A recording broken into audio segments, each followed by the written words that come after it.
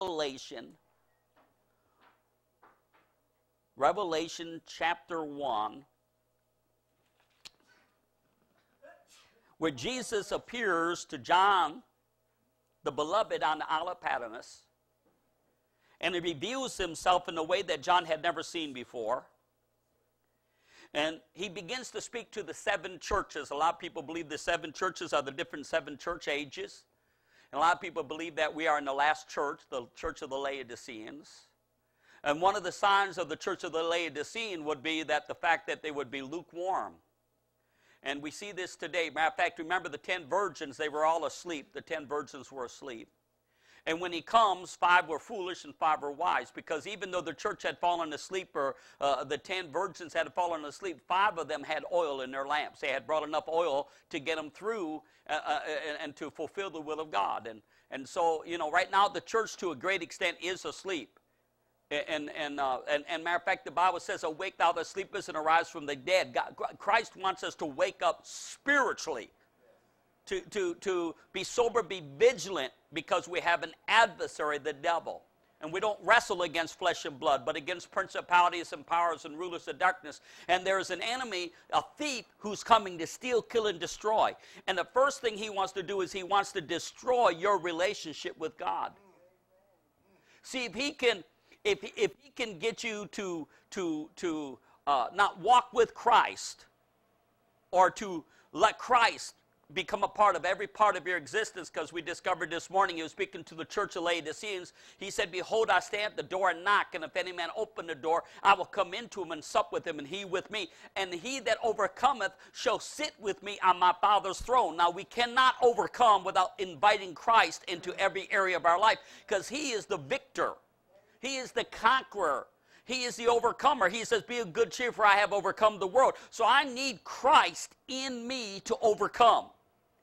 You know, if you say, Pastor Mike, I just can't overcome. Well, the problem of the fact is you must not be inviting Jesus to help you overcome because he will give you the victory over the devil the world in the flesh. He'll give me victory, but here's the honest truth of it. A lot of times we lock Jesus out of certain areas of our life. We say, Now, Jesus, you can bless me in my finances, but don't tell me what to watch. You can bless me in my physical body, but don't tell me how to think or don't tell me how to talk. But He wants to have a part of our life from top to bottom, inside and out. And, he, and He's not going to bust down the door of your life. He's waiting for you to invite Him in into your relationships, into your thoughts, into your actions and your deeds. And you know why he wants to come in? Because he wants to give you life. Say, give you life. Go ahead, point your finger at your neighbor and say, give you life. He wants to give you life and give it to you more abundantly. Now the devil, the devil, he don't want you to have life. He'll lie to you. See, he came to the woman, made, made a ridiculous promise to him, and, and, and said, You won't die if you eat of this tree because the devil's a liar. So the devil's always going to lie to you. And everything the devil tells you that's contrary to the book is just a, a stinking lie from the pit of hell. It really is. And we need to wake up and stop listening to the devil. I don't, I don't want to hear what the devil has to say to me or about me or for me. I want to hear what the shepherd has to say. See, God has a wonderful plan for each one of us. And the devil has a terrible plan for each one of us. And we're going to have to decide whose voice are we going to listen to. We're going to listen to the voice of the world, the flesh of the devil, or we're going to listen to Jesus. And if we listen to Jesus, you can't listen to your body because your body, your emotions, your feelings are not going to lead you in the right way. Your feelings are going to lead you astray. And that's why the Bible says the just shall live by faith, not by feelings. And faith says, Lord, let your word be true and let every man be a liar. What you said is true and I true. And here's one thing you need to understand is that when you learn to live by faith, faith will always go contrary to your flesh. When you are walking by faith, you will be experiencing pain. You will experience pain when you walk by faith, it's just like when somebody begins to physically work out, sit ups, chin ups, you know, push ups. It, it's, you know, when your fle- flesh hasn't been disciplined and it's out of shape, and, and, and you do, you know, I know one day I did about 10, 10 chin ups. I walked around for about three days and my arm hurt so bad. I hadn't done, you know, plus I'm not used to lifting, you know, that amount of weight. When I used to do chin-ups, I used to be able to do 50 chin-ups at a time, you know. And but the thing is, is I put a little bit of extra weight on since then. And I did chin, 10 chin-ups. It took everything. Oh, oh. And when I got done, my arms felt frozen and it hurt so bad. Now I could have rebuked the devil, but the reality of the fact is my arms were out of shape, and they still are. But you know, no pain, no gain. When you walk by faith, God is always going to lead you in a direction your flesh don't want to go. See, that's why he said, when I come back with a beating faith left on the earth, the reason why most churches don't have Sunday nights anymore is because it goes against the flesh of the people who go there, and it just, it, it calls, it, it, it just, oh, I just, you know, I just want to go to bed early tonight. Well, I just want to do this, or I just want. Now, if people were really staying home and praying and fasting and reading their Bible, that'd be wonderful. But remember, the Spirit of God led Jesus into the wilderness. The, the, Moses led the children of Israel into the, the wilderness. See, that's what God's doing. God's going to take you contrary to where your flesh wants to go. Now, you know, you can get so in tune with God, though, your flesh might even leap at doing the will of God. Have you ever been there when your flesh was in harmony and unity with the will of God? But how many of you can honestly say tonight your flesh didn't want to come here? Let me see your hands. Your flesh did not want to come here. Now, you may not know it, but your flesh did not want to come here. But you came here by faith. You know, also giving financially. You know what? When you really are giving by faith, you give to it hurts because your flesh is crying out, your checkbook is crying out, the bills are crying out. Don't use me for God. But I discovered something that if you rob from God, that literally the windows of heaven are, are barred up against you. You got to open the door for God to move in your behalf, and you got to do it by faith. You got to live to learn. You got to learn to live and walk and move and think by faith. So he's visiting the church. That's what it says here. He's coming to the church and he's speaking to the church. And Jesus said something amazing to the church in chapter 2, verse 2. Listen, and, and you got to take a hold of this in your heart. You got to see the reality. What is it that God saved me for? Why did God save me? Well, He saved me that I might become one of His children. He saved me that I might, I, I, might go to heaven. He saved me that He could heal me. He saved me that He could bless me. Now, these are, things are all true, but really, Christ saved you. The Father saved you. The Son saved you. The Holy Ghost saved you to make you partners together with them. God and children incorporated. And right now, see, this side of heaven is the harvest field. It's not the playground. It's not what we call Six Flags.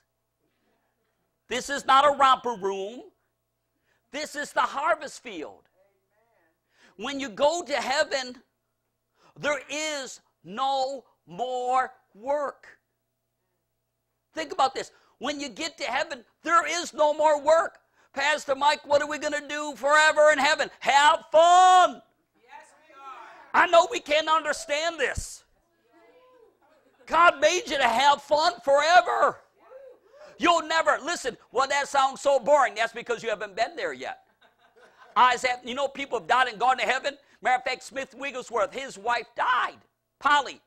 She died. He raised her back from the dead. It's an amazing story. When she he raised her from the dead, she was up and said, uh, Smitty, because that's what she called Smith. Smitty, why did you raise me from the dead? Well, honey, I missed you. She, she said, No, no, no. My time on earth is done. So she said goodbye to her husband and she was gone. She went back to heaven. Because once you get to heaven, you can, eyes have not seen, ears have not heard, neither enter the heart of man those things which God has prepared for them that love him. There's a lot of people who mock heaven. That's because they've never been there. Man, you get to heaven, I'm telling you what, man, you won't want to come back to this earth. But this side of heaven is harvest field. Now's the time to work. Now, in the midst of working, there is fun. You can have fun working together for Jesus hand in hand together out in the harvest field. I used to work with a farmer and I'd go out there with his sons and with my older brother and we would bale hay. And let me tell you something, it was hot, it was sweaty, it was nasty, but you know what? There was pleasure in it, there was joy in it. We'd sit down together, we'd go out early in the morning and I'd be shoveling the manure out of the, out, out of the cow stalls, the, the milk cows, and then the, the farmer's wife, she'd be frying up some eggplant and, and, and she'd have some sausage and some, some, uh, some eggs. And I mean, we'd go over there and we'd sit around the table, take off our manure filled boots at the door, and we'd go and we'd have a hearty breakfast, and then we'd go out and bale some hay. And by the end of the day, we were really tired, but there was, there was joy in the midst of having each other working together. But this is, this is the time to work. I believe that's why the message of work is being so attacked. People, preachers are attacking working for God as if we're preaching a salvation by works. But we're not talking about getting saved by working. We're saying now that you are saved, it's time to work. You know, our society has lost. You know, America was known as being one of the most industrial nations of the world. We were known for what we could produce and what we could make and what we could accomplish until we lost our work ethic. The church were workers. In the book of Acts, they were workers for Christ. As a matter of fact, the Bible says we're saved by grace through faith not of ourselves. It's the gift of God, not of works, lest any man should boast. So we're not talking about a works we boast about. The next scripture says, For we are his workmanship, created in Christ Jesus, unto good works. I'm created for good works. What good works? The works that Jesus did. Now, I believe Jesus that the works that I do shall you do also, and greater works than these shall you do. So I believe in casting out devils, healing the sick, cleansing the lepers, raising the dead. Freely you have, freely give. Now, I believe in these supernatural works, but I also believe in natural physical works. It could also be feeding the hungry, clothing the naked, visiting people in prison. You're there for people when they're sick. So, but also there's other works. We know there's works of the flesh. It says, Now the works of the flesh are manifested in Galatians chapter 5, and there's 18 of them. And they that do such things shall not inherit eternal life. Now, Jesus came to destroy the works of the flesh in Mike Yeager. He came, and, and matter of fact, Paul said, I am crucified with Christ. Nevertheless, I live, yet not I, but it's Christ that lives within me. The part that he crucified was the works of the flesh adultery, fornication, idolatry, witchcraft, hatred, wrath, goes on. See, so these are the works that need to be crucified. But then there's works that God wants to resurrect in me. And Jesus says, The works that I do, shall you do. He said, I must be about my father's business when he was 12 years old. He said, My father, he works hitherto, and I also work. So God wants us to be like Jesus. How many know that? How many know Jesus was a hard worker? I need to work for God. And there's profit in all labor. matter of fact, notice what Jesus says to his church in verse chapter 2, verse 2. I know thy works. This is what Jesus said. I know thy works. For in other words, God is looking at the works or what you're doing with your life and this is Revelation 2, verse 2. I know thy works and thy labor. I know thy works and thy endurance or patience, how thou canst not bear them which are evil. So he goes on and he begins to exhort the church that's in Ephesus. He says, I know thy works. In verse 5, he begins to tell them that they're beginning to mess up a little bit because they're slacking off. They're not working for him like they should. Remember, therefore, from whence thou fallen, repent, and do the first works. You know, of people, when they first get born again, man, you know, when they really get on fire for God, at least I did, I was a worker. I, I, I, cannot relate, I cannot relate with people who don't work for God. Now, I'm not talking about full time ministry. I'm talking about whatever you do, do it as unto the Lord, not unto man, knowing that you shall receive the reward of the inheritance.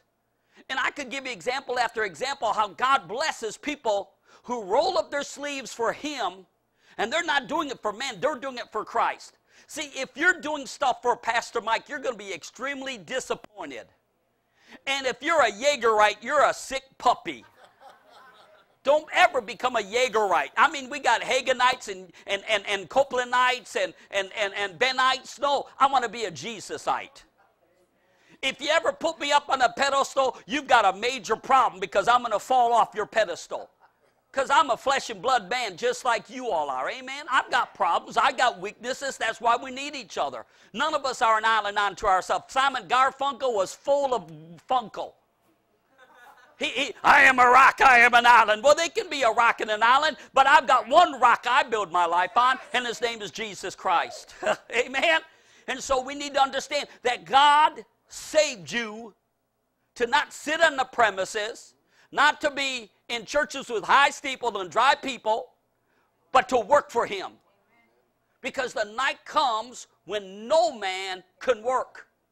And when I get to heaven, I'm not going to regret how much I worked for God. I'm going to regret for the fact that I didn't do more for God. I, I want to see, I, man, I've been saved since 1975. Traveled around the world. God's allowed me to have the privilege to start over 25 churches and to help start churches. I just got back from South America. God is opening up Japan for us and, and Taiwan for us. As a matter of fact, the lady who works directly with Heidi Baker, she's in, in, and she's leaving, she's already gone in Taiwan, and she's translating our, our my, the book Horrors of Hell, Splendors of Heaven into Chinese. And a Japanese company, a printing company, contacted me, and they are printing my book Horrors of Hell, Splendors of Heaven and they're paying me a royalty. They sent me a check already for that book. But I'm not yet happy. I want to touch more people's lives. Now, all of us are called to do different things. One person's given a pound, another one's a three pounds, another one's five pounds. And so don't compare yourself to one another. God's not called everybody to do what I'm doing, and God's not called me to do what you're doing. But we're all called to work. Say, I'm called to work. We're all called to do whatever God calls us to. If God hasn't given you a load of responsibility, you ought to jump up and kick your feet together and say, Praise God, I'm not Pastor Mike. Hello? I mean, some of these men out here, they're doing awesome works, you know, like Franklin Graham. But I'm not Franklin Graham. Thank God I'm not Franklin Graham. I just need to be who God made me to be. But he says to the church in Ephesus, I know thy work. He says, You've fallen from what you used to do. In the beginning, you worked for me. What happened? Something happened. The cares of life, the deceitfulness of riches, and the lust of other things. Fears, stuff, stuff. Well, Pastor Mike, we'd get involved, but you know, we got things to do. There's only one problem. He bought you with his blood. You see, we got to get this. You do not belong to yourself. You belong to Jesus. And if you forget that, you won't be working for Jesus. So I, my wife and I, we got our Bible school, and I went to work for a little company in Mount Union, uh, uh Pennsylvania. It was called Beyer uh, B E Y E R, and they made Easter grass. I got in there. And most places, you know what? It's hard to find good workers. I hear this all the time. But I was a young man. I think I was about 25 or 26. I rolled up my sleeves, and I mean, I just went to work. And, and while they're all standing around, and, and I wasn't trying to get a position. Next thing I know, I'm called into the man's office whose factory it is. He's a Jewish man. And I was only there for three months. And he put me, the guy who was running their shipping and receiving, I didn't know nothing about this stuff, loading and unloading train cars. Before you know it, he put me over all of the shipping and receiving department. Why did he put me over the shipping and receiving department? Because he saw my work ethic. But what he didn't know, and I preached to him too when I went into, I said, I'm not doing this for you, sir. He, I said, I'm doing it for Jesus. Because the Bible says, whatever you do, do it heartily as unto the Lord. Give the Lord a hand clap. You know why Joseph was promoted so quick in Potiphar when, when, when he was taken as a slave? Because he kept his heart right, even though he was wrongly done, and even though he was a slave, he gave his best for God. And then even when he was lied about from Potiphar's wife and accused of trying to molest her and rape her, he didn't get an attitude and just say, well, I'm just going to sit here and stew in this prison. God must not love me. He didn't get an attitude towards God. He didn't get an attitude towards Potiphar. He didn't get bitter. He got better. Don't get bitter, get better, get sweeter. And you know what he did? He was running to prison before he left. And next thing you know, God promoted him. Say, My day of promotion is coming. Amen. If you will do what's right, if you'll just do it for Jesus, get that in your mind. Do it for. I've been pastoring for almost almost 34 years. You know this church has not paid me since about 1999. You know why? I don't grumble and gripe because I'm not doing it for the organization. I'm doing it for Jesus. No, I'm doing it for Jesus. I'm not doing it for what I can. You know, a lot of pastors, if they stop getting a paycheck, they're going to pack up their suitcase and go somewhere else. But I'm not doing it for that reason. And you need to have the same attitude. You need to do it for Jesus. Tell somebody, do it for Jesus. Now you say, well, somebody might take advantage of me. Well, not if you're doing it for Jesus. And not if you're led by the Holy Ghost. See, you and I got to become sensitive because the devil will send people to you in the guise of love and want to strip you of your money and do nothing. And yet the Bible tells us listen, the Bible says if a man doesn't work, he should not eat. Oh, Pastor Mike, do you believe that's physical? Yes, I believe it's spiritual and physical. But because even Paul said, when I came to you, he said, I did not ask for any help. He said, I worked with my own hands. He said, why? Because he wanted to be a good example. Say, I want to be a good example. Now, when, when I preach and teach, I'm not thinking of anybody in particular. I'm just preaching what the Word says. Because a lot of times when I'm preaching, I'm kicking myself in my rear end and you just don't see it. I mean, I'm speaking to Mike Yeager because you know what? I'm not like some of you. I haven't arrived yet. Or I shouldn't say some of you, those down the street at the other church.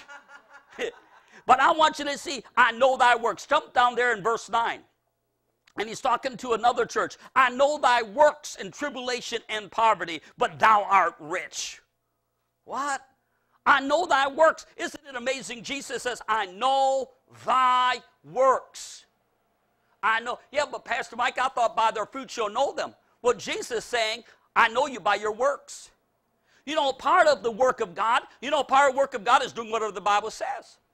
Loving your wives, submitting to your husbands, tithing, praying, lifting your hands, that's spiritual works. Casting out devils, healing the sick, raising the dead, cleansing the lepers, praying, that's work. Let me tell you something. If you don't think it takes work to pray, just go ahead and pray for an hour, two hours, or three hours a day and see if that doesn't take work. You got to shut your mind up. I carry a little book with me, and I don't have it with me tonight, and I just, th- things would come to my mind, and I just start jotting them down. Now, spiritual things, but I also get the natural things out of my way. See, I'm a visionary. And what I mean by that, God, God gives me tremendous ideals, and I just begin to write them down, and I begin to, I begin to call them into existence. I begin to call those things which be not as though they were. And it's not just me, it's the body that God. See, God is going to send people that are going to walk with us together. And I'm not here to be exalted, I'm here to help wash your feet with the water of the word and by example. I can only take you where I've been. Amen. I can't take you where I'm not. If I'm not committed, if I'm not sold out, if I don't love God, if I'm not doing the will of God, I can't take you into that place. But how many you want to go into that place? How many of you want to fulfill the will of God for your life? See, the devil tells you that you can't because he knows you can. If you could not do the will of God, he would not even tell you. He'd let you find out for yourself. But you can't. See, God, you got to get this in your heart. God has a purpose for your life.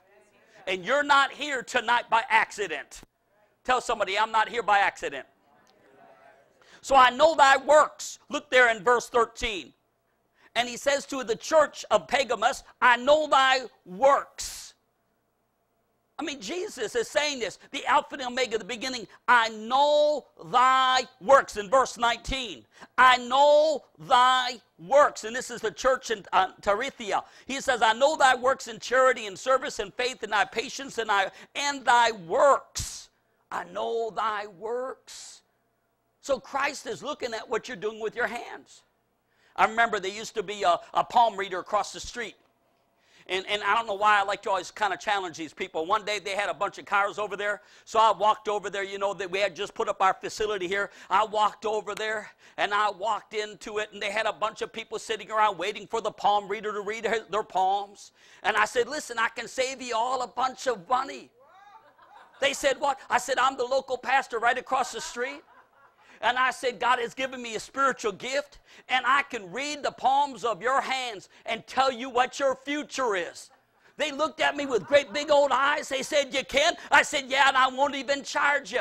They, they, and, and they're just kind of waiting, suspended, like, What am I going to say? I said, I can tell you your future by what you're doing with your hands.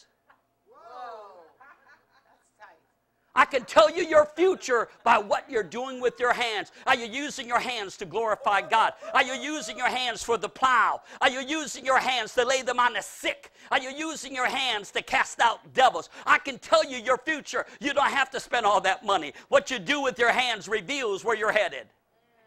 These hands are supposed to be, it says, lifting holy hands. These hands are instruments, these hands are tools. These hands are made for the will of God. Amen? Go, you can use these hands to clap and praise the Lord. Amen. You can use these hands either to point a critical finger and find fault, or you can reach out your hand and help somebody out of their ditch. Have some, sister. You can lay hands on people and get them drunk in the Holy Ghost. Did you know that? Did you know that, sister? See, some people are more susceptible. See, there's there's there's an anointing. there's an anointing in the hands. Amen. And the Bible says, He that hath clean hands will be stronger and stronger. Amen. Go ahead and praise the Lord with your hands. Go ahead.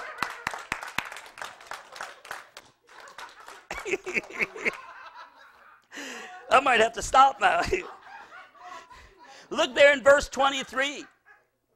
At the very end of verse in the very end of verse 23 he says, "I will give unto every one of you, I will give unto every one of you, say everyone. Everybody shout everyone. I will give unto every one of you according to your works." Say, you know, you, you, when you get to heaven, this is this is honest to God truth. When you get to heaven, what's going to happen here is He is going to give you. Okay, see, you don't know what she's going through till you get some. When it begins to sneak up on you, hey, don't resist it. Say, Pastor, I don't know if it's polite to be laughing. It is. Just do it. It's wonderful. The joy of the Lord is your strength. I, I wish I, I, I wish you all were drunk in the Holy Ghost. I wish you all were happy in Jesus. Amen. Just have some more joy. Amen. Hi, sister. God bless you. You came in just at the right time. But you know, he says, I'm going to give each one of you according to your works. You know, Jesus, he gives the parable about the man who gives out a pound and he gives out two, three, two pounds and three pounds. And then the day's going to come and he's going to call them. He's going to say to them, he, and he said this occupy till I return. The word occupy means to work. Say, I am called, I am to be a worker in the harvest field. God's called you to work, He's equipped you to work. This is a true story. One time I was leaving a church and I, I was in kind of a, a, a, two or three month period when my wife and I was going to head off to Germany by faith. Just landed there with Michael. He was just three months old. Just landed in Frankfurt, Germany, not having nowhere to go. Just God said, go. This happens to me all the time. God spoke to me and said, go down to Suriname, a little country in Brazil. I, I, and, and God opened up the whole nation to me this last spring. So when God just says to me sometimes, go, I just go. And I don't even know what's going to happen. I just know that God is going to lead and God. Some of you came to Gettysburg and you don't even know what you're doing here. So, what am I doing in Gettysburg? Brother Wayne came all the way up from Florida. What am I doing here in this area? Uh, uh, Brother Darrell and his family came all the way from Maryland. What am I doing up here? Amen. Uh, Sister Ka- Katharina. Katharina, she came all the way up to Gettysburg. She don't even know what she's doing here. I know what she's doing here. God has an assignment for her. Amen. I came to Gettysburg. I hate Gettysburg. I said, Lord, what am I doing? You know, you know you got to be in the will of God when you're somewhere that you hate. See, because faith always takes you to the place where your flesh don't want to go. Man, I'd rather be ministry. You know, some of these guys, they're pastoring the Bahamas. Let me tell you something. God didn't take them to the Bahamas. I know somebody's got to go to the Bahamas, but the flesh took them there. I think there's a lot of pastors and a lot of churches where God didn't take them, but they took them because it was easy going. You know, but some of us are troublemakers. You know what I mean by that? Some of us are, are we, we, we go, we like to go where there's lots of trouble because only God can get us out of the mess we get ourselves into. And so he says, I know thy works you will be rewarded according to thy works. You say, Pastor Mike, what if I, you know, there's a lot of spiritual lazy people today. Amen. See, we, because, you know, in, in, in our society right now, we're being bombarded, and, and I'm just not going to get political, but we have been being flooded with this welfare mentality where we think the government owes us something. And here is the danger. A lot of people have become dependent upon the government, and what they don't understand is the government's going to become your God. And the day will come when the government will tell you things you cannot do and you can do for God, and you're going to have to decide who is your God. And so we, we, we have come, see, because you understand the Antichrist spirit is a one world government order that wants to basically control, it wants to be God. See, that's the devil. He wants to be God. Well, I tell you right now, the devil ain't going to be my God. Amen. So I weaned, listen, I literally weaned myself off of the government a long time ago. Now, I'm not telling you that the government sends you a check, you shouldn't cash it, and you shouldn't tithe on it because you should. But I'm telling you, get yourself ready. See, I've, I've been preparing my heart for years and years and years because the day will come where it's more dangerous for you to use the medical world than it is for you to believe Jesus. As a matter of fact, you may not know it, it's already happened. The, the, the, the, second number, the second number one killer in America, for in other words, or it's the third killer in America, is prescribed drugs from the medical world. Did you know that? They're the third the third number one killer. For in other words, not the first killer. I think the first killer is alcohol, uh, uh, drunk driving, but uh, and, and, then cancer. But medical, the, the medical world. And matter of fact, up in New York somewhere, a town, the doctors and all the medical industry went on strike. And they discovered something. After one month, they discovered in the obituaries that the death rate dropped to about half of what it was before. Well, how, how is that? Because you know what? It's like the little woman with the issue of blood. She spent all that she had and she was rather worse. Amen? So I've just, I, have been learning since I've been saved 1975. And I'm not telling you to throw away your medicine, don't go to doctors because you're going to live where you're at. But I want to help you to get out of where you're at and to where you need to go.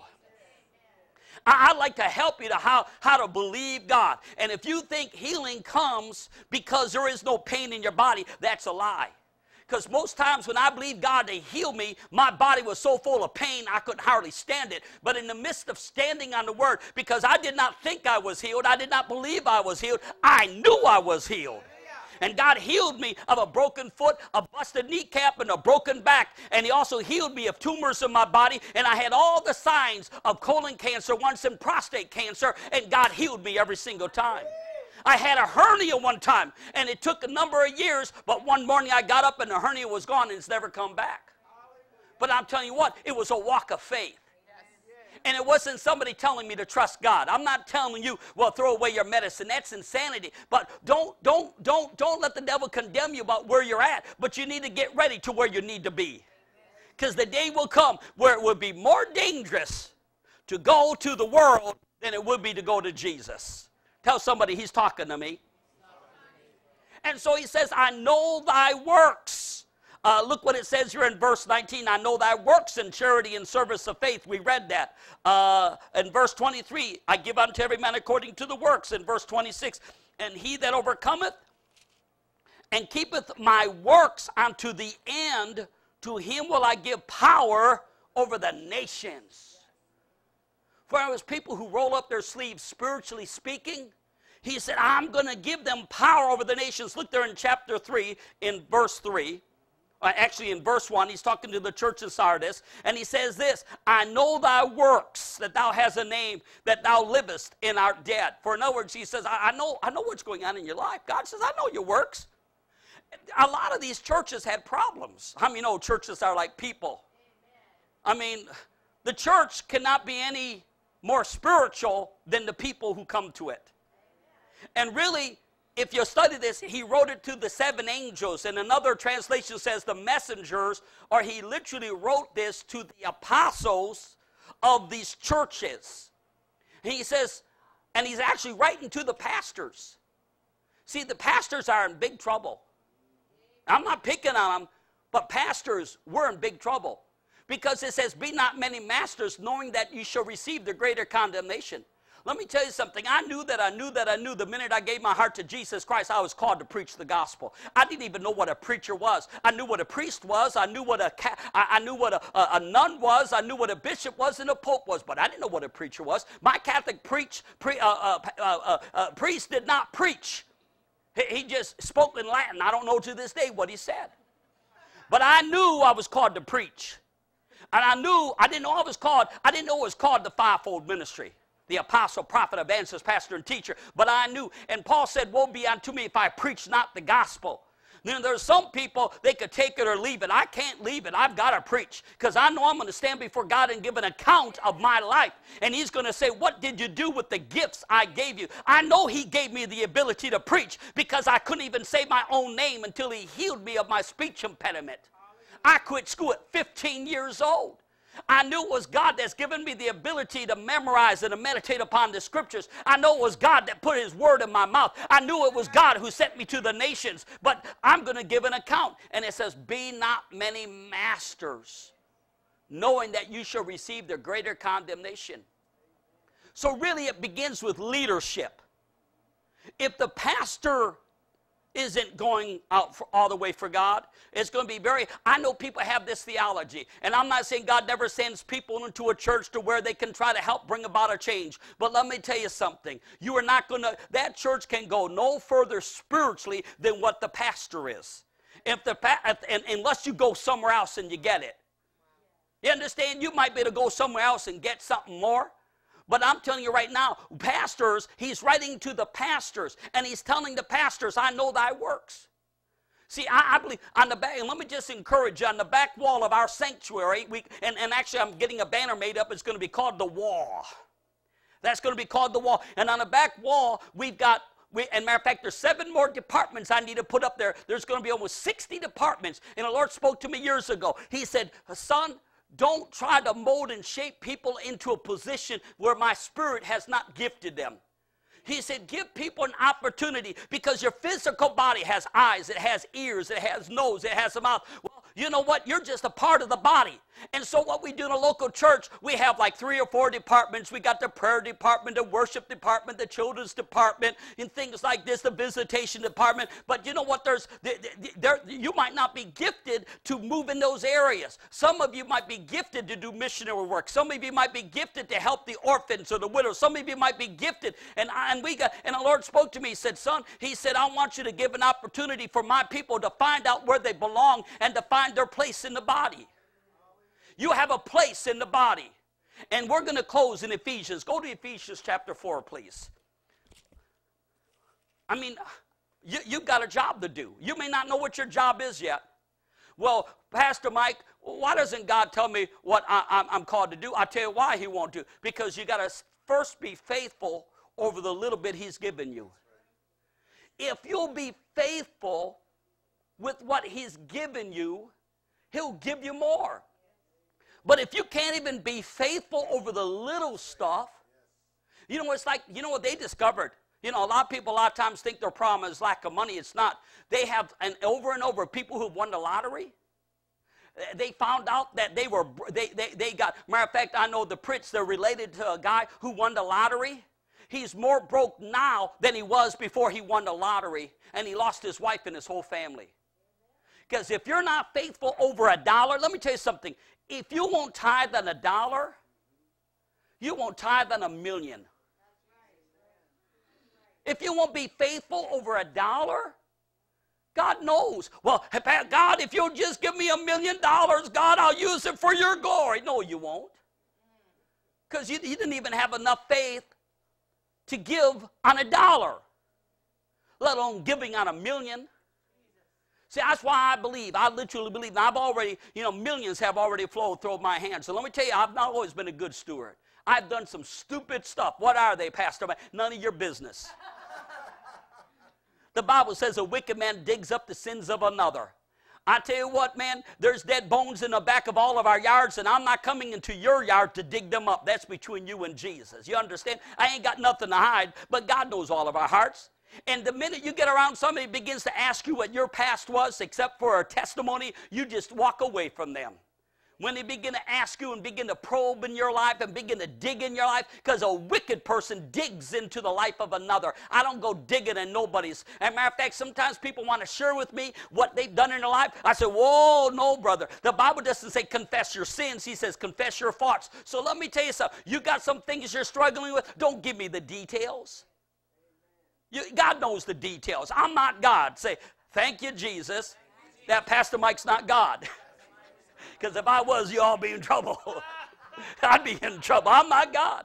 I don't want to go digging in nobody's backyard. I don't want to go digging in your life, and nobody else has the right to dig in your life. I've had people try to dig in my life. I said, Well, why do you want to know? Where, would you come from? What did you do? What happened? How come this? How come that? None of your business. Tell your neighbor, none of your business. See? Just love one another. Now, if something needs to be dealt with, God will show us. But a lot of times, you know, God will show me things going on in people's lives. But and sometimes He even gives me a vision and shows me what they've done or where they've been or where they just came from. And you know what? I keep it to myself. I don't even share it with my family most times because God showed me it where I could protect the local body or I could stand in the gap and believe Him for restoration. You know how many know that as long as you're still breathing, there's hope for you?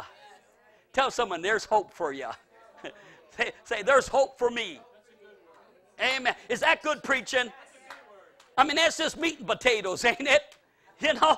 I mean, we got too much cotton candy going on in the church. Too many lollipops, you know, too many sugar kings, except during the time of Christmas. You can have some then. But I want you to notice what it says in Ephesians now, in Ephesians chapter 4. And you know, Paul has said an amazing thing in chapter 3. He said that we might be rooted and grounded in love, that we may be able to comprehend with all saints what is the breadth and length and depth and height, that we might know the love of Christ, that we might be filled with all the fullness of God. Can you imagine we feel that means to be full of God from head to toe? just permeate with God. I mean, you can smell the fragrance of the lily of the valley or the rose of Sharon. You can smell God coming off out of the pores of a person. I mean, you know, you can get to such a place spiritually to where you can literally walk in the place and devils will begin to scream and come out of people. I've done it. I've seen it. I've seen it. You can ask my son. We went down to, to Suriname, and I'm walking into the midst of a crowd or walking into the midst of the service, and demons just began to be manifested and began to go into what looked like epileptic seizures. And we just began to cast the devils out. And when I cast the devil out, I don't take no hour. I just tell them to come out in the name of Jesus. And I turned my back on them. See, they didn't know better. Down in Suriname, there was a woman that had a devil being cast out, and this devil manifested. And, and, and they went down, and, and I put my hands and I said, In the name of Jesus, you foul devil, come out of her. Now I knew the minute I told the devil to come out, it had to come out. It ain't got no choice. But the people who didn't know better, they kept on praying, trying to get it to come out. And I finally said, Listen, listen, let just back away, back away. When they backed away, and she just gave a sigh of relief and a smile came on her face. You know why? Because the devil, he's, he's just buffeting you. Every time Jesus cast the devil out of a person, they would fall down and go into a fit, and he'd walk away because he told the devil to come out. Every knee shall bow and every tongue. People say, I'm just going to keep praying until I feel like I'm saved. No, you don't pray in order to believe that you're saved. You know you're saved, and so you pray. You got to get the cart behind the horse. We get the cart before the horse. We, see, we, we get to thinking, man, if I just pray enough, then God will move. No, because you believe God moves. See, you pray in faith. The prayer of a righteous man availeth much. See, prayer, supplication with thanksgiving. But, anyways, we're in Ephesians chapter 4, aren't we? All right, look what it says in Ephesians chapter 4. When he ascended upon high, look there in Ephesians 4, let's begin here in verse 8. Wherefore he saith, when he ascended upon high, he led captivity captive and gave gifts unto men. Now that he ascended, what is it but that he also descended first in lower parts of the earth? He that descended is the same also who ascended afar above all heaven, all things, and he gave, he gave some apostles, say some.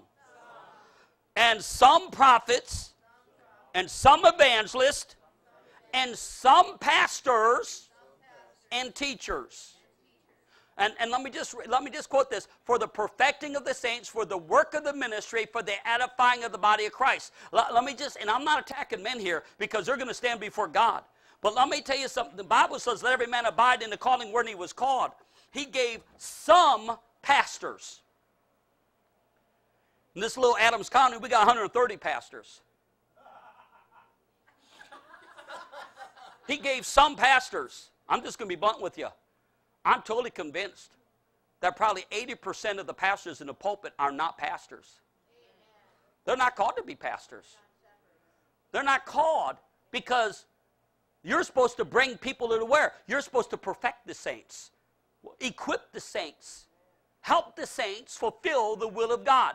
And what is that? For the work of the ministry, for the edifying of the body of Christ, till we all come into the unity of the faith and the knowledge of the Son of God unto a perfect man. So a pastor is supposed to help you mature and grow in the things of God. And a pastor is supposed to equip you to work for the kingdom in the harvest field. I literally believe, and I'm not judging their hearts, I literally believe a lot of these men are not preparing people to work in the harvest. All they're doing is they're getting a paycheck and they're entertaining you. Being a good speaker does not make you a pastor. Entertaining people does not make you a pastor. Matter of fact, a true man of God is going to what? Reprove, correct, rebuke, exhort with all long suffering and doctrine. A true pastor are apostles. Matter of fact, you know what? Just to be honest with you, in the New Testament, it talks about prophets over 150 times.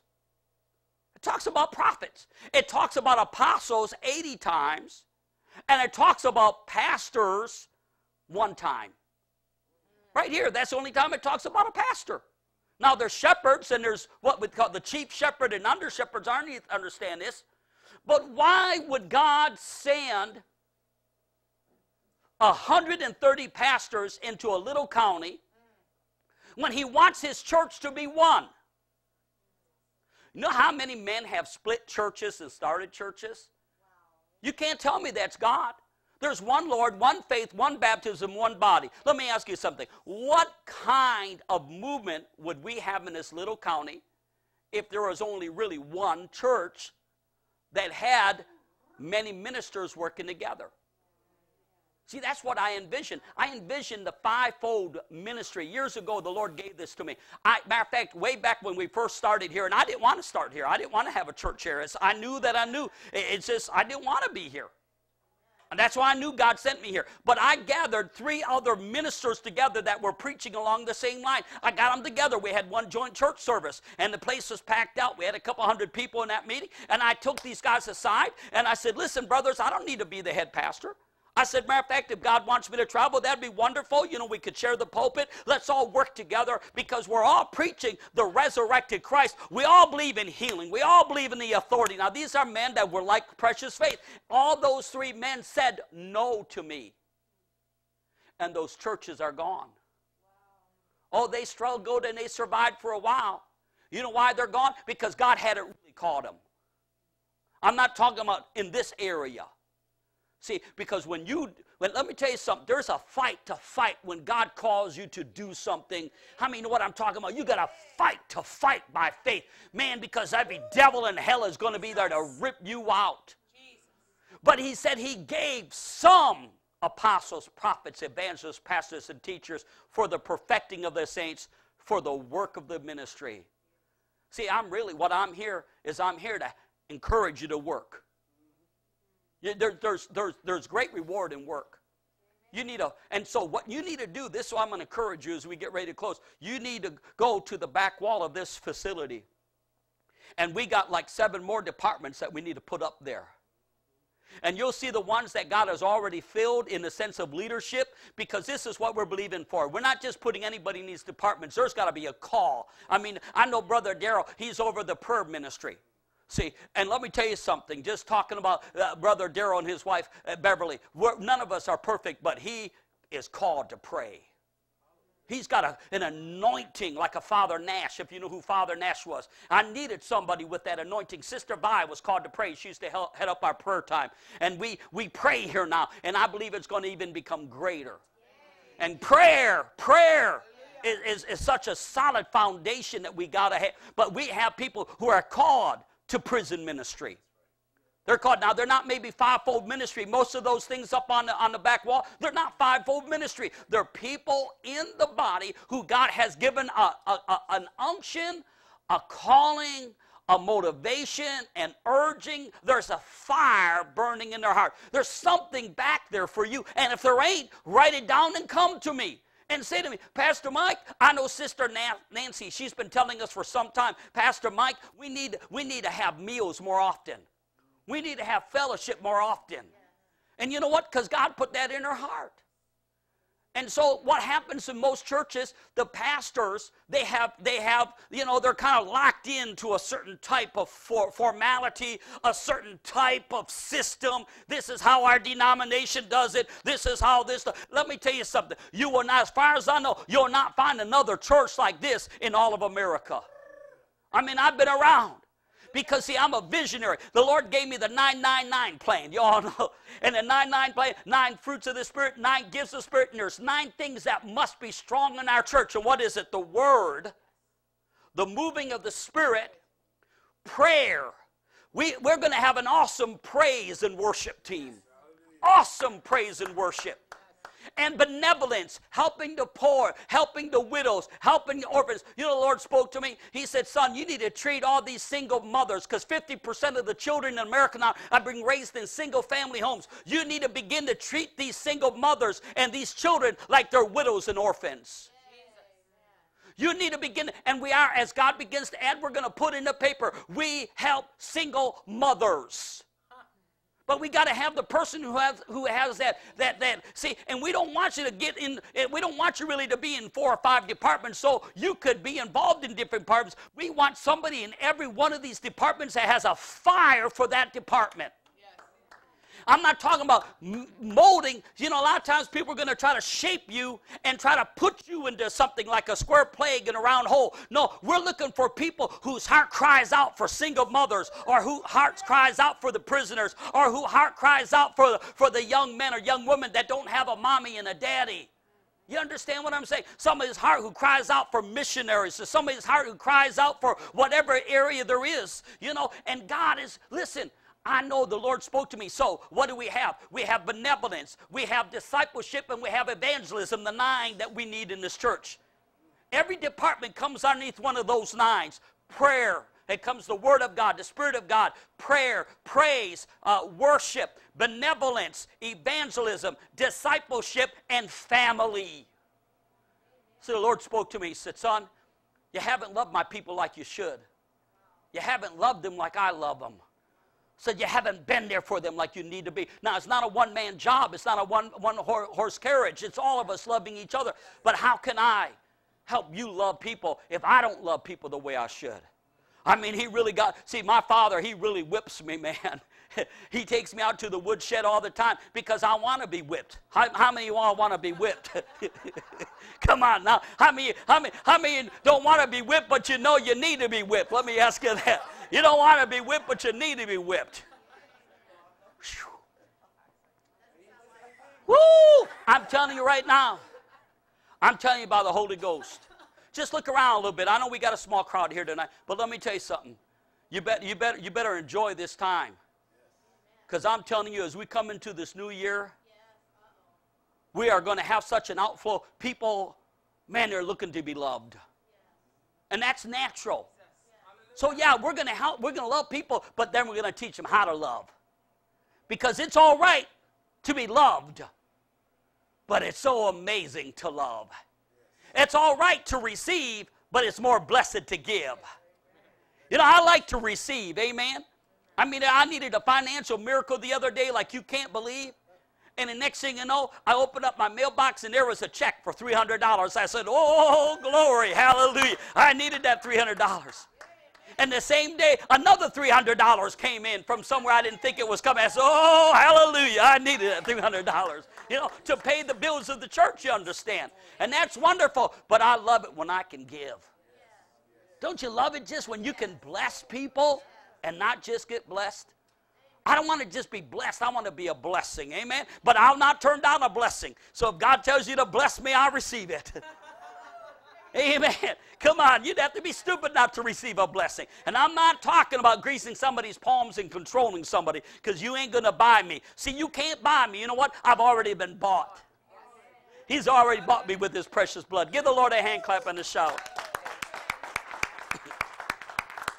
Woo! We're headed into some exciting times. Oh, it's going to be rough and turbulent. The world is going to fall around. I mean, the, the world's falling down. The, the economy is going to fall apart. It is. I'm telling you, it's happening right now. Our whole governmental system's falling apart. A lot of churches are disappearing. You cannot, it's frightening. Like 1,500 pastors a month are dropping out of the ministry. That was a statistic two years ago. 1,500 pastors. Churches are closing everywhere. I was driving down the other day. Somebody, Brother Angel, told me, he said, Well, did you see that church for sale there in Fayetteville? I said, There ain't no church for sale in Fayetteville. I'm driving down a road. There's a sign. It's for sale. People can't pay their bills. Yeah, Wayne. Why can't we get? Because we got to begin to love them. Because we got to get ready for them because they don't know we're here yet. See, God's going to do this. All we got to do is be obedient to what He gives us to do. Let's pray. Hallelujah. Father, I know by the Holy Ghost. Woo! Huh. Lord, that we're here tonight by divine ordination.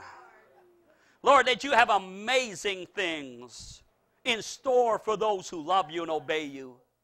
Lord, there's people here tonight, they've paid a price to be obedient. Man, they paid a price to be obedient. And there's other people, they don't even know the price they're going to pay to be obedient. And Lord, don't even let them see what they're going to have to go through. Just let them experience it for themselves. But Lord, even tonight, I thank you. Lord, there are those who have already paid the price. And the Lord would have you to know that because you have paid the price, that which you've been believing for, I tell you right now, brother Darrell, I'll tell you, the, spirit, the prophetic word of the Lord will say, Yea, my son, I've seen the price that you paid. I see the cry of your heart and your wife's heart. I've seen how the devil try to discourage you and even try to stop you and prevent you from obeying me. Amen. But the time of harvest is upon you. Hallelujah.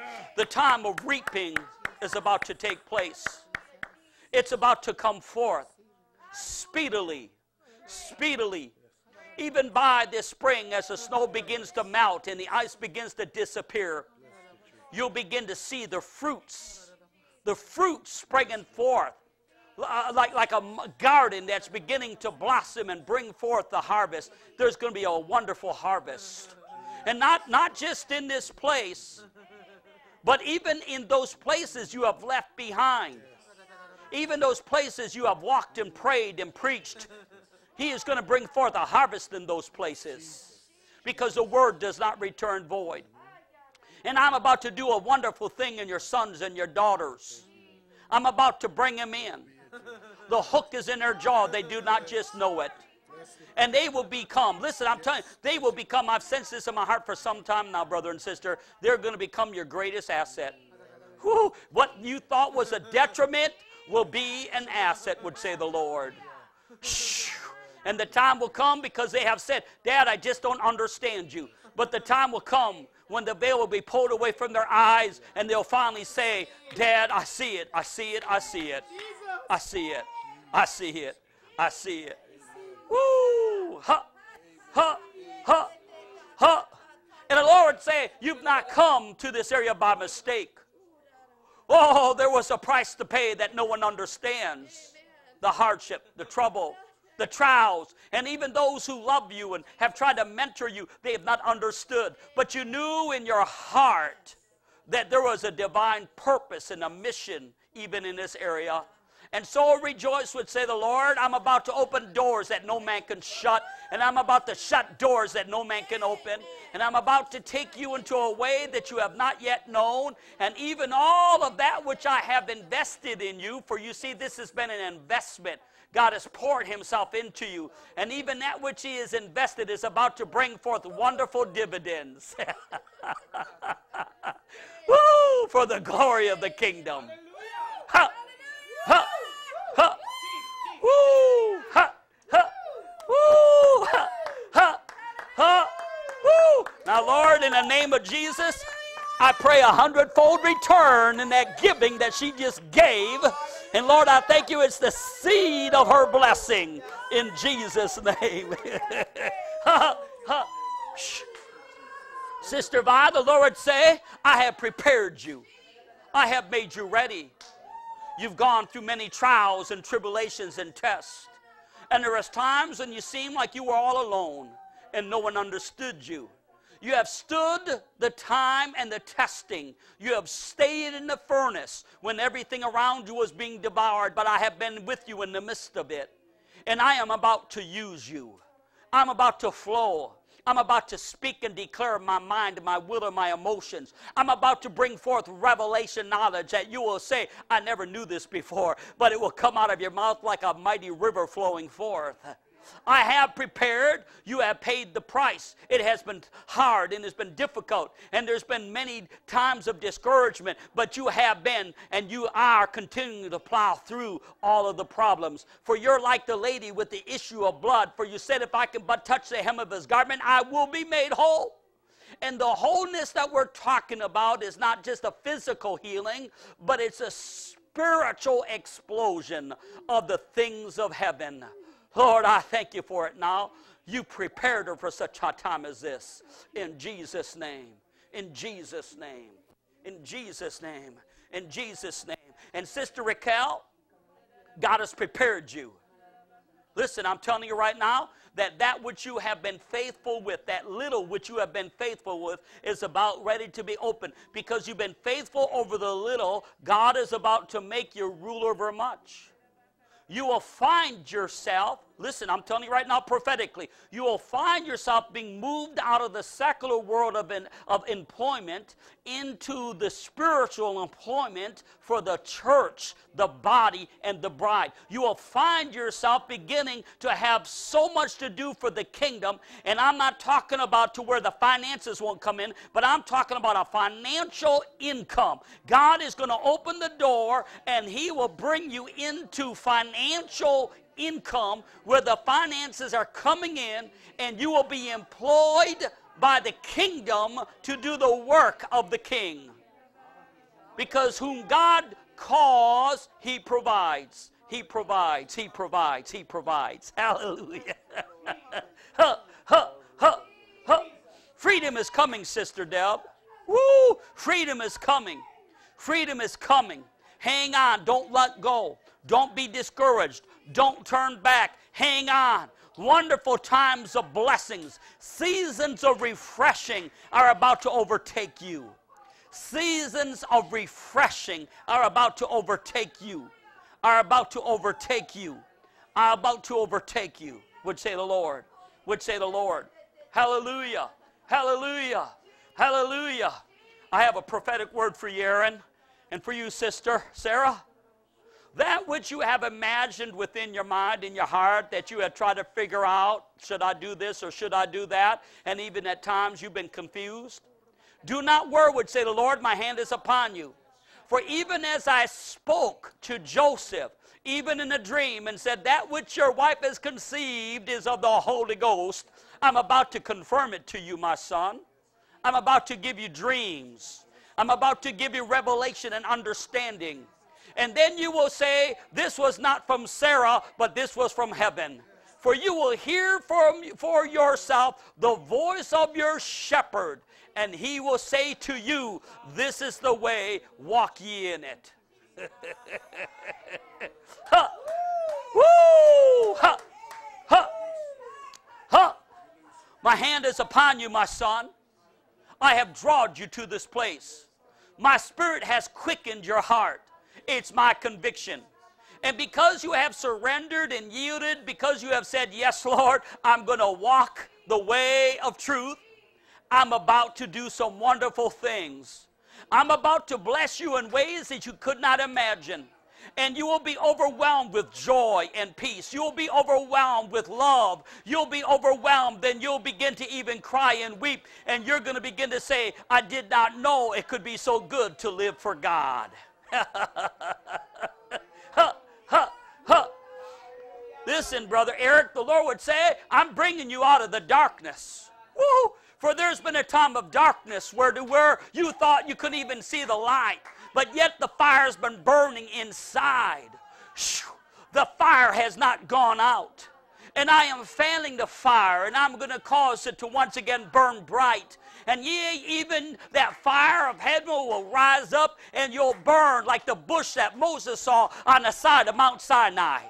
And even people will turn aside out of curiosity and they'll say, What is causing this bush to burn and not be consumed? It'll be the fire of heaven burning on the inside of you, would say the Lord. And so do not give up, do not quit, do not be discouraged. Decide in your heart right now, God, once again, I'm seeking your face like never before, and I'm going to press in and take a hold in Jesus' name. Let's give the Lord a hand clap and a shout. Hallelujah. Hallelujah. Huh. Mm. Mm. For the Lord would say, I see the tenderness of your heart, the cry of your innermost being. For there's many things that have been tugging and pulling and trying to drag you aside. And yet there is within you, even like that, of the heart of like that, of a yearning and a longing inside. It sounds kind of strange, but I almost see like the desire that he put into the geese when it comes to the season or where they need to fly south or north. And so God is pulling you into his will. And all you need to do is surrender to your heart and not your mind, your feelings, or your emotions. I see in the spirit people whispering in your ear and trying to draw you aside that they could devour you like a wolf with a little lamb. But the Lord would say to you, Do not listen and hearken to those voices, but listen to me, for it's only in my arms you can be protected. For you see, I have a wonderful job for you, I have a wonderful purpose, and I have even created and formed and fashioned a man that would be after your heart's desire. And so do not yield to the lies. For if you step in that way, you'll discover nothing but torment and fear and anxiety. But step into the light of my glory, and my love and my life will flow forth out of you like a mighty river. So my hand is upon you. Even to this time and at this moment, the enemy would have tried to devour, but I put a hedge around you, and I kept you, and I protected you. And so my hand is upon you, my daughter. Begin to cry out to me. Begin to seek me like never before. And it'll be like the sun rising up in the horizon, and the light of heaven and the glory of the Father will be upon you, and you will be blessed. For I pronounce a blessing on you. You're blessed coming in, and you're blessed coming out. You're the head and not the tail. Hallelujah. Hallelujah. Hallelujah. Hallelujah. Hallelujah. Hallelujah. And Nancy, the Lord say, Your prayers have prevailed. Your prayers have prevailed. And even though it may seem at times that I have not heard, I am working in the hearts, I am working in the lives of your loved ones, your children and I'm about to do a mighty work. I've already done a mighty work, but I'm about to do an awesome thing, and you'll see it before in you'll see it with your own eyes before this next year is out. Ha, ha. Mm. Daryl and Beverly, just one more thing the Lord told me to tell you. Your prayers have prevailed. Your prayers have prevailed. Give the Lord a hand clap and a shout tonight. Woo! Hallelujah! Come on, let's stand to our feet and give the Lord a shout. Just do it by faith. Hallelujah! Thank you, Lord. Thank Him ahead of time. Thank you, Lord. Thank you, Lord. Now, Lord, we thank you. Ha! Woo! Hallelujah! Glory. pray for you. Father, in the name of Jesus, I pray for this young man. His father's a minister, his mother's a minister of the gospel. And I know being in the position he's in, it's so hard at times to walk in that realm because because of his, his parents and them being in a ministry and, and all that happens in a ministry. But Lord, I pray for my young brother that you would strengthen him and that you would speak to him. And Lord, that you would give him a vision and give him a purpose. And Lord, that he would not just see it's his mom and dad, but it's him. You're calling him. Your hand is upon him. You got a plan for him. You got a purpose for him. And you're doing awesome things in him, God. In him. Lord, I thank you, Lord. Woo, by your spirit, let it be a fire that just burns in his bones, in his blood, in his marrow. Let it be a fire for the hunger of the things of the kingdom. Let his mind in his heart hunger for the reality of Jesus. Lord, we thank you for it now. In Jesus' name. Amen. Woo!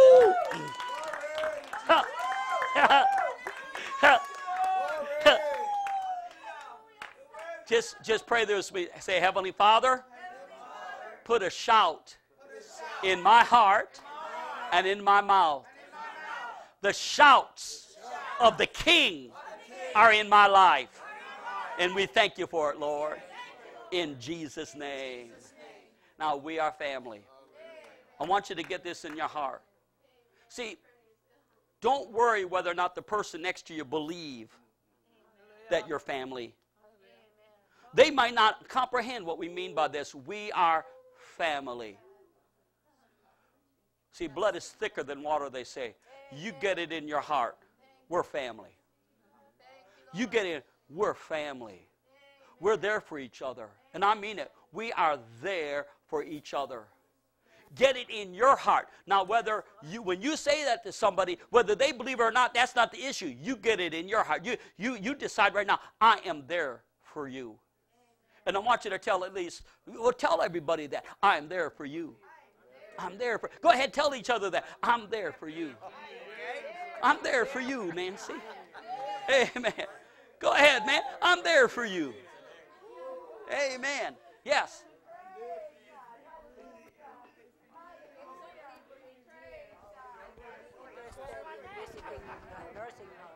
Oh, okay, okay, yeah, yeah. Sister, sister Raquel, she has a ministry to the nursing homes and prisons. And if you want to get involved in going to nursing homes and prisons, see Sister Raquel. And link up with Sister Raquel if you want to go to prisons, ladies, and nursing homes and men. Sister Raquel and Sister Vi has been going for years, but right now God has her on a different place. But see, Sister Raquel. Let me tell you something. Sister Raquel needs help. Sister Raquel needs help. God bless you. Hey, and there's there's uh there's sloppy joes over here. and so let's fellowship.